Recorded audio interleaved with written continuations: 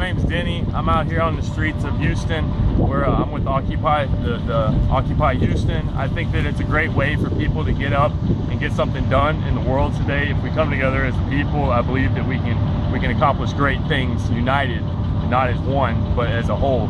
And uh, I started Occupy the Streets. We're out here with uh, a camera crew. We're getting people's opinions.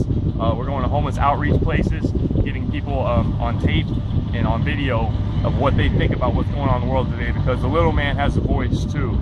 And uh, we need to get it heard. And I think it's very important that people's voices get heard if we're going to get anything done because a lot of people have strong opinions and they need to get heard. Um, so that's that's what we're doing out here. We're on the streets of H-Town and uh, back at you. Yes